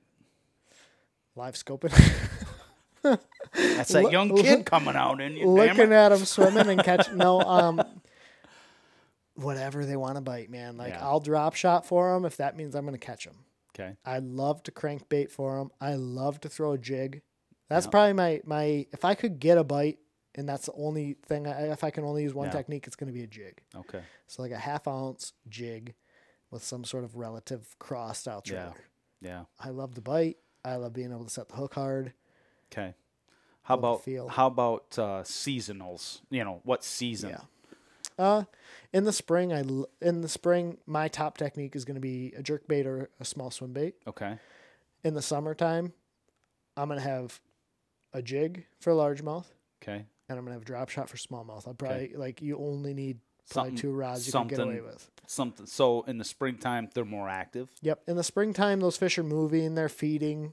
The Okay. water temps are what I believe like optimal temperature. Right. They've been frozen all winter. Water temps are on the rise. These fish's metabolism So is something feeding more up. reactionary. reactionary up in the water column. They're feeding, getting fat. okay. Summertime, the water's really hot, so they're cold blooded creatures. So their metabolism increases, so they'll eat. The problem is they're pressured now. Yep. They've seen baits. Yeah. So you almost have to slow down a little bit. Right. I like a jig because it's so visual and so Yeah. much fun. You can flip it into heavy cover Yep. or a drop shot. It's super slow, subtle, it's non intrusive, Okay. and it just gets a lot of bites. During the fall, which I guess we're coming up to in a few months now, yeah. which is yeah. We're a couple months away. It's a- Um, love fishing a crankbait. yeah. Crankbait or jerkbait, and for largemouth, I'm So back to a reactionary bait Yep. because they're They're pushing shallow. they're more on the feed again. Correct. Yep, I, be- Yeah. I believe that it has a lot more to do with like optimal body temperature of a bass, not because they know winter's coming. Okay. Especially up here in the in the north, like I don't believe it's because you know winter's imminent. Yeah. I think it's like that sixty to forty-five degree range. Yep. That's an optimal temperature for those fish to expend a lot of energy, Mm-hmm. and it congregates all the bait fish shallow. Do you think weather plays a lot in a bite? I think there's a, Like if you had like what would be like your perfect scenario weather? for largemouth prefrontal or during the middle of a front. So Okay. like right before a hard rainstorm Mm-hmm. or right during that rainstorm when there's changing conditions. Okay. For smallmouth, I think wind, sun, and if you can get a front, that's good too. Yeah. But those fish are super visual feeders, so you want like moderate clarity. You want Okay. good to normal clarity water. Um, and then wind helps you kind of disguise your boat, and Sure. it also helps position fish. And then sun obviously helps them see. Okay. All right. See, to me, I would think that sun would be more like it's going to drive them, oh, you know, down into a darker. And it will. You know, that's yeah. uh that's the other benefit. So like the wind is going to help um, make those fish want to eat. Yep. The sun's going to help drive them lower in the water column. So then you can kind of you can kind of, I guess, shrink down your area. Yeah, that To- wind's going to help look for 'em position in. them too, right? So Sure. like it's going to create natural currents whether you're on Yep. the Great Lakes or you're on a, on a river system. So it will position them closer to the bottom. If it's very sunny and no wind, those smallmouth will lift off the bottom and get like the middle middle of the Yep. water column and be able to swim anywhere Yeah. they want. They're not positioned. They're very tough. Like you and I have experienced where Oh yeah. we're out drop shotting in the morning. It's low light conditions. Mhm. The fish can't see very well. There's a little bit of wind. Typically, it's colder water. Those fish are pinned to the bottom. Yep. That sun gets high. Those fish seem to disappear. They Yeah. get way up in the water column. Yeah. So if you had if you had to have three setups for year round, Yep. what would they be? I'd have a seven foot medium heavy bait cast rod Okay. with like 15 pound test fluorocarbon line. Um, that's super versatile. You can throw literally just about any technique, three eighths ounce and heavier. Okay. I'd have a seven foot medium spinning rod. Again, super incredibly versatile. And then I'd have like those if th- that'd be it. Yeah. Like I could do pretty much everything with a seven foot medium a heavy bait caster and a seven foot medium spinning rod. So you don't need wh- why do guys have 20 damn rods on there? Uh we Is got it in is it is it just based off of like because they want to be able to change and not have to tie? Yeah, but like you'll see guys have different lengths, powers, actions of rods. Okay. Um, for a long time, I was very much like this, right? Yeah. I need a seven foot medium for throwing my Ned rig. I Yeah. need a seven one medium light for throwing my drop shot. Sure. a seven three for. It's gotten to the point like, do you really? Or like, no, that seven one medium can do your Ned rig, can do your drop shot, can Yeah. do your spy bait, can do your tube. So like, I work with a company called Temple Fork, and this is one of the problems we saw in the industry. You're having 20 SKUs, 20 to 25 rods Mm-hmm. to try and match every angler's thing. Now they they just came out with two different lineups. I believe the Taction series. Okay. Well, let me go back. They have a series called Resolve. Okay. It's the top line, but there's nine actions total. Total nine SKUs Okay. between I think three or four spinning rods Yep. And five or six bait cast setups. Super, super basic. So seven foot cranking rod or jerk bait rod. Yeah. Seven three medium heavy. Seven five heavy. Like and then I think they have a seven ten because you gotta have it for like those deep swim bait Sure. or deep crankbait, deep swim bait guys. But like you're starting to see companies now get away from the technique specific, Yeah. less SKUs, saves them money, but also like as anglers, we don't need all of that. And I think the more advanced you get, you start to like step back. Be like, You figure out what you use more and what you don't use. yeah, a lot of it's trial and error too. Right? Yeah. Like you have to go through and buy a bunch of rods to figure out what you like or what Yeah. you don't like. But It- their new series, I think, have like ten or twelve SKUs. So Yeah. they you got to still cater a little bit. But like for me as an angler, my most used rods, seven one medium light, Mm-hmm. seven six medium light, or I would say seven one medium light and seven three medium Yeah. spinning rod. Yeah. Bait cast setup, seven foot medium, seven three medium heavy. Okay. I could have four rods, and most of the times, like I'll have the same rod, three different techniques. Okay. All right. Yeah. So it's it's weird you say that.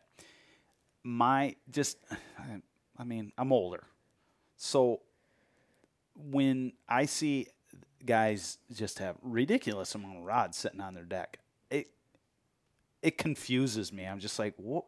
Do you really need that many damn rods? I feel like you could do it with, like you said, two or three, maybe four. And I'm, I don't know. Maybe I'm, maybe I just don't know enough about it to, you know, to to think, oh, I got to have this and this and this and this. like you might see me, I might have eight rods. Yeah. I would argue I have three different setups, Gotcha. right? So like I might have three of the same rods with different techniques on Okay. them.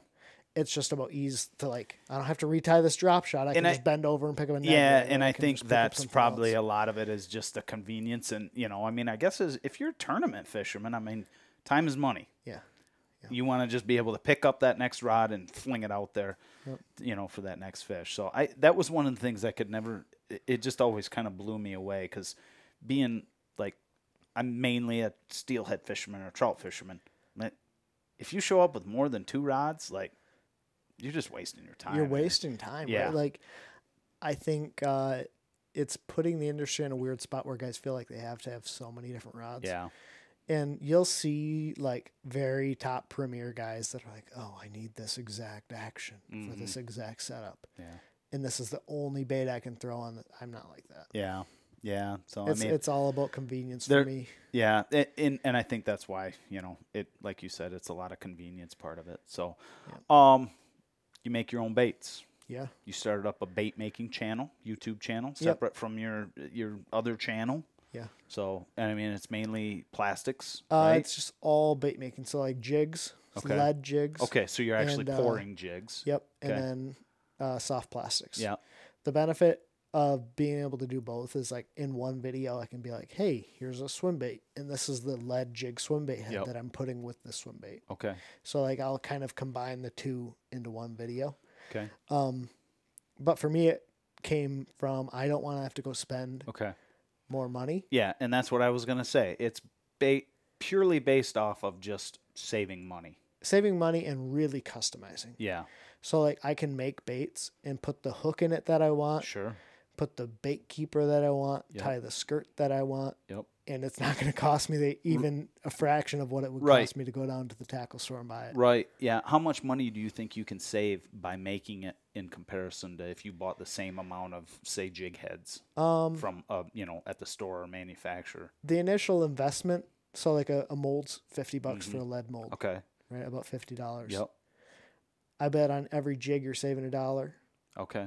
So the first fifty you're losing money. Sure. After that, you're making a dollar a jig. Yeah. I mean, Um, at the end of the day, well, and there's something to be said about catching a fish on a lure that you created. Yeah, and you can dial it in. Especially like my recommendation to anyone getting into it would be buy the things that you know you go through a lot of or the things that you use quite a bit, Mm-hmm. Yeah. right? So like drop shot sinkers. I, I haven't bought okay, a drop shot sinker is Ned rigs and a jig. Those Mm-hmm. are my top three molds for sure. Yep. Um but I haven't bought a piece of lead tackle. I was thinking about this the other night when I was pouring swim bait Yeah. heads. Years? Years. Years. Yeah. I mean, That's there's so many good molds out there. Um, there's so many great, great hooks you can Mm-hmm. customize, and especially as you start to figure out what you like, it's incredible. Yeah, that's cool. And like I said, there, there is something. There is a really It's a cool, cool, feeling. Like, yeah, like it's like man, I caught that fish on a bait that I tied or I poured. Yeah, or, Or like- plastic that I, po- you know, molded this and that. Yeah, there's something cool about that for sure. I think that's my second or third mold I ever bought. It's the Sparky Weedless mold. Yeah. And I've been pouring jigs for a long time because Yeah. Andy taught me how to fish a jig. Okay. Yeah. I got tired of buying jigs. yeah. I remember the first time I ever tied a jig. It was green pumpkin with a little bit of orange on the belly, and I caught big bass on uh, Smallwood Lake with Andy. Mm-hmm. Yeah. And then Andy had me tie him like three or four of those Right. jigs. Yeah, like that's cool. just really cool. that's feeling. cool. So, all right. So now, Yeah, that's what kind you of got, got, in front of you. It's kind of gotten us to this point here. Okay. So a lot of like this bait design came from my ability to understand how colors work in plastics. Plus, um, I drop shot a lot. Yeah. Like when I'm smallmouth fishing, I drop shot a lot, and I have probably tried most of the drop shot baits that ever Right. have come to market. Like I have boxes.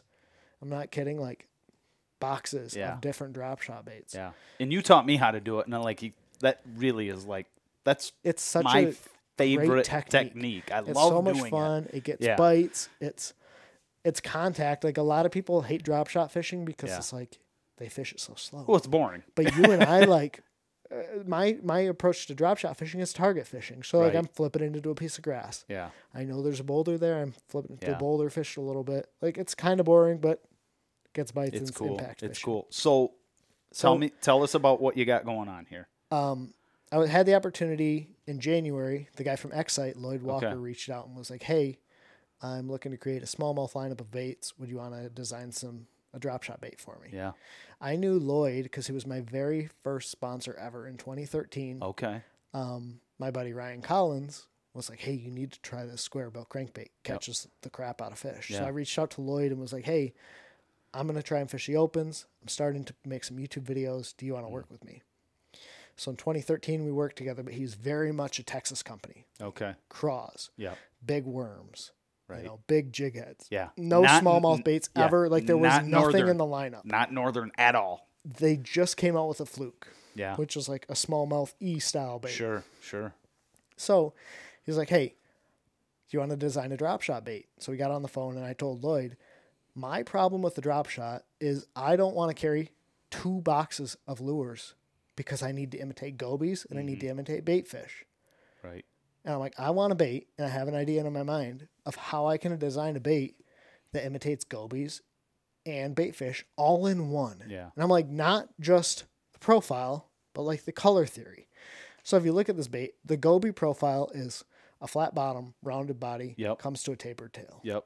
All drop, oh, like that's what a goby looks like. Right. And most goby baits out there are designed that way. Yep. So this is your goby profile, right? Yep. Dark back, flat body. Yep. Well, when you start to think about bait fish, a bait fish typically has a flat back, rounded belly, tapered tail, Yeah. right? Well, that's a bait fish profile when you flip it this way. Right. Flat back, rounded belly, tapered Right. tail, right? There's no company out there that has ever said, let me make a goby bait That looks like a that looks like a goby yeah. and a bait fish bait that you, all you have to do is turn it over.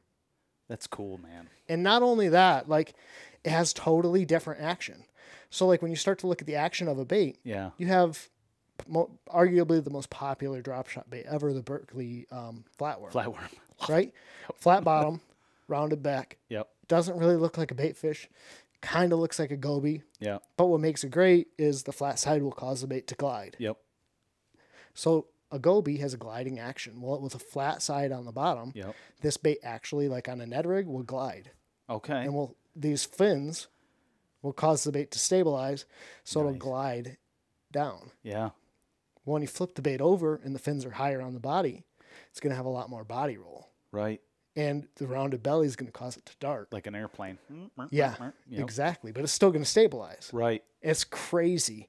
Like that was kind of intentional, but kind of unintentional design of this bait. When did you have this epiphany that this is what I this is what I'm looking for? I got tired of carrying so many plastics.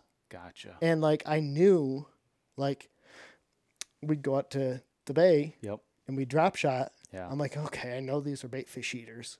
Yeah. So I would grab the um, Beast Coast Magic Flick. Yep. Because it looks like a bait fish. Yep.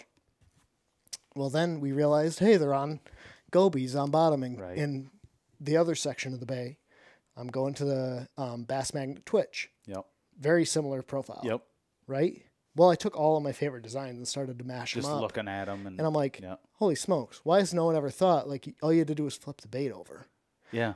And why has no one ever thought like if you flip the bait over and give it two different profiles, now you're gonna pour your you're gonna pour your lures differently. Right. Your bait fish patterns have a dark back Yep. on the flat side. Well, so this has a dark back Right. on the flat side. Your goby Gobies. profiles have a dark back on the rounded portion and a lighter section. Like no one has no, no one has done this. Zero companies have Ah. said let's do this. So when I had to explain it to Lloyd, and I sent him the drawing, he's like, "How is that going to look like a bait fish?" I'm like, "Lloyd, turn turn your phone upside down." Yeah. oh my god it has a rounded belly and a tapered tail he's like how did you think of this and i'm like i don't know man It's, like we- it's weird because literally it's like just flip it over on your hook. like turn it the other way Yeah. like and so i started taking like my favorite things the spark shad has little wings on it yeah. that helps stabilize the bait so i added Yeah. the wings to stabilize well Yeah. these wings cause different actions depending on how the bait's rigged Yeah. because of where they're positioned on the bait but they also cause the bait to catch water on the fall Yeah. and spiral like a tube. Right. So like I also knew there's a bait called um the Jackall crosstail shad was a Okay. phenomenal drop shot bait. Well, the crosstail when it's rigged this direction really doesn't do anything. Right. It just kind of helps, you know. It's Yeah. just there. Yeah. But if you rig it this way, it actually causes tail lift. Right? Yeah. So it helps the bait act more like a bait fish this way. Right. Has tail lift and tail wiggle. damn. And then it has a bulb on the tail because there's a bait called the Berkley hitworm, yep. Which is arguably one of my favorite drop shot baits because it causes like a shimmy. Yeah. Like not a hard kick like a swim bait, but just like a wiggle. Yep. But no one drop shots it. So instead of just adding like a round, like flat, thin taper, Yeah. like the Twitch, Yep. I was like, let's make it have a uh, bulb, like half a bulb. Right. Well, what it does is when it's, it, it causes when that water runs over the bait, it shimmies, shimmies. really hard. So what makes it great is like so you can swim, you can roam a Ned. Yes. My- yes. But- I'm in. Legit, you can roam a Ned with this thing, and that tail will will shimmy. Yeah. You can put it on the back of an underspin, and that tail will shimmy. And so many guys take uh, Megabass Hazedong, Yeah. which is a small body swim bait, Yes. and fish it around current situations because it's got a small tapered swim bait tail Right. that will shimmy. Well, this will now do that in current. So you don't have to have 10 bags of drop shot baits to do all these different things. It's literally here. You just got to pick your color. You pick your color, right? So there's 12 different colors. Um, really, it's really unique, man. This is just like, That's so cool, dude. I, I'm so proud that you of you for coming up with that whole thing. I hope that he's making it right for you rather than He just is, giving yeah. you a bunch of free. Here's your free bait. yeah. So just really cool process, man. No, like seeing it so all, right? exciting. Like I drew it. Yeah. Um, we sent it to the CAD guy. Yeah. we got the first CAD rendering back and Yeah. we're like, oh, that's ugly. Yeah. It's so ugly. But like you draw it and you send them millimeters and Sure. it it was ugly. I'm like, make it sexy. Like extend the body a little bit, Right. make it sexy. Um, send us a second version. Like, oh, it's still kind of ugly. Like can't be four inches long because what you don't realize about a four inch bait is Right. huge. Huge. Yeah. Huge. And like this tail section in between uh, the cross tail Yep. was so long that the bait would just like flop around. Yeah. So they made it sexy.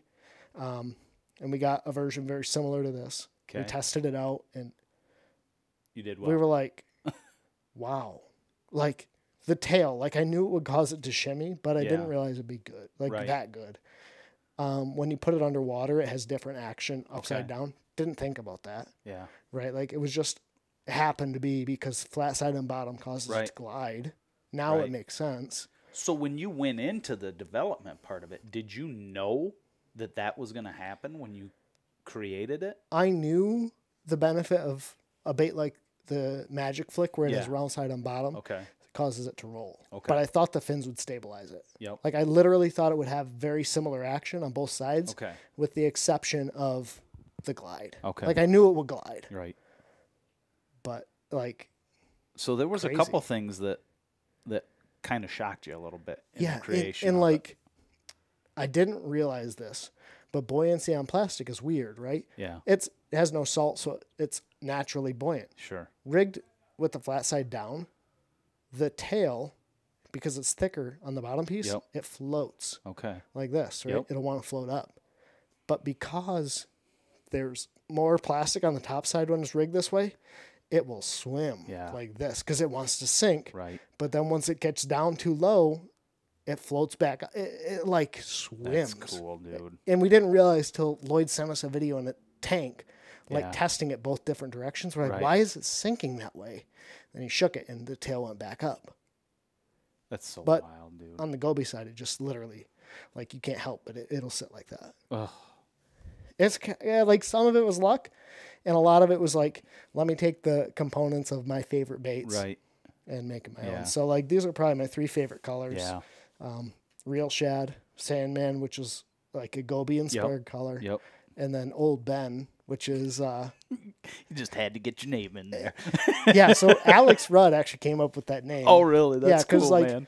The name Minobi is a combination of minnow and goby, Sure. right? So Yeah. then he's like Minobi, like Kenobi, and I'm like, Right. oh heck yeah, like Yeah. Old Ben. Old Ben. Ben Kenobi. Yeah, he's like you have Goes to have back a to the, color goes back to your Ben. nerdier nerdier movie Oh, years. We're so nerdy, but yeah, dude, it turned out better than we ever could have expected. Um, I just like now that I've been through the process, Yeah. I'm like, man, why didn't no one say like, hey, if we're gonna imitate a bait fish, like yeah. pour the color different. Yeah. But Oh, also, cool, why did dude. no one ever say like, hey, this shad shaped worm, I can imitate a goby if I just flip it the opposite direction. Right. Ah, it's just crazy, but turned That's out really so cool. cool. dude. Man, I'm so excited for you. I hope. And these these are have these even been released yet? They'll come out on the twentieth. On the twentieth. So this is like pre Couple days. nice, dude. Yeah. That's so awesome, man. Yeah, it's been a fun, fun process. So this means you get to quit your job, right? Again. I wish. like this will make me like beer money. Yeah, there, there you go. There you go. Yeah. no, but we'll get we'll get some royalties. So if like people buy a pack of baits, that you know I get paid. So Sweet, dude. really I'm so excited. I want to get out. I'd love to come out and fish. We haven't fished together in so long. It's it's literally I felt like it's been years and it, it has well been it be. has been two years, Josh. it? Yeah. Because the last time we went was around the spawn when we went up to Tawasin, the Charity Islands. That's right. That's right. God dang, man. Why has it been so long?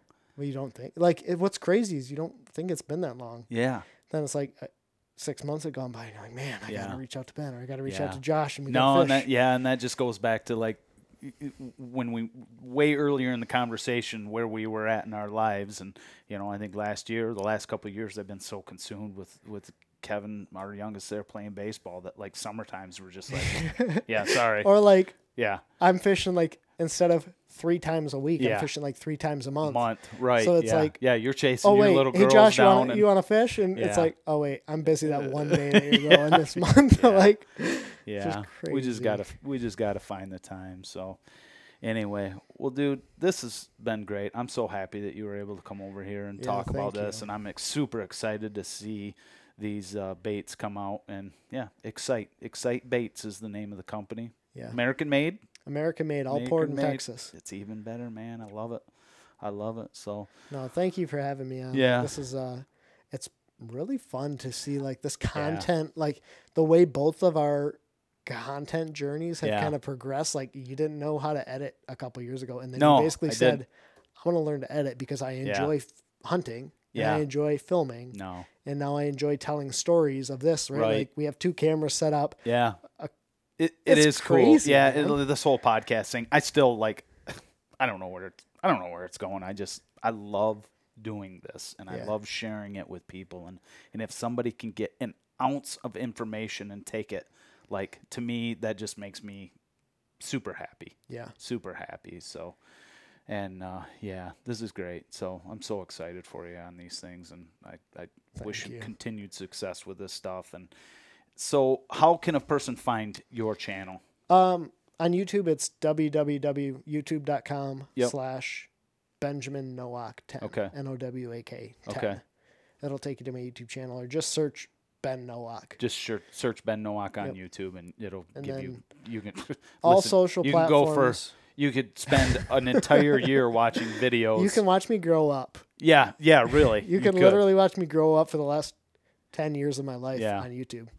Yeah, that's incredible. Is there anything else? Any Um, anywhere else? Somebody? I mean, you're on social media, you just search- Instagram, stuff like that. At B R N O W A K Okay. underscore fishing. Yeah. I'll show up on everything. Okay. YouTube, sweet. sweet. Instagram, And you do a little bit of podcasting as well. a little bit. Yeah. Um, ventured into it a little bit. It's just Just kind of on a hiatus right now with it. Yeah, it's fun when you can ever just hang out and talk, right? Yeah, Some of what I for enjoy sure. the most and kind of what we talked about is like talking and hearing people's stories or hearing people's fishing adventures. Yeah, So for sure. I know on the last podcast I did, I talked to uh, you know my buddy there, uh, Marcus, about doing almost like a not a semi live, uh, you know, hunt, but I think it would be super cool to go out on the boat and do like something like this, yes, a podcast almost. You know, I mean, obviously Well- the cameras would be involved, so then I guess it would become a YouTube.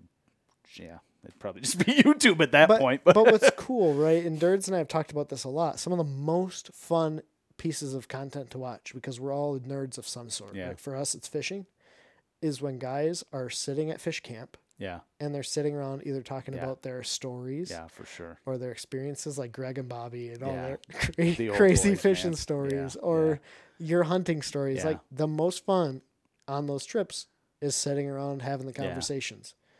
Well, having something like this set up where you can just hear people talk and the passion of it all, Yeah, like it's no, really fun. It's super valuable in my opinion, and I, I really, really enjoy it. So, well, I mean, we're pushing two hours, so that's people That are either awesome. gonna people are either gonna love it or they're gonna turn it off in the first couple of minutes. These guys are a couple of ass clowns, so either way. One of- Yeah, or both. or both. Yeah, yeah. So anyway, I think we're gonna call it a day on this one, guys. Again, thank you, Ben, for coming on. I Yeah, super appreciate it. Uh, I wish you much, much success. Uh, you're probably one of the nicest guys I know in the in the, the whole bass fishing YouTube industry, and you're always easy to get a hold of, and you always respond back to everybody that, that has ever reached out to you, myself included. So Oh, thank you there's a lot of value in that these days. So, but with that being said, I think we're going to call it a day, and I appreciate everybody coming on and listening. This is the Mic'd Up Outdoor Podcast. We'll see you all soon. Thanks. Thanks.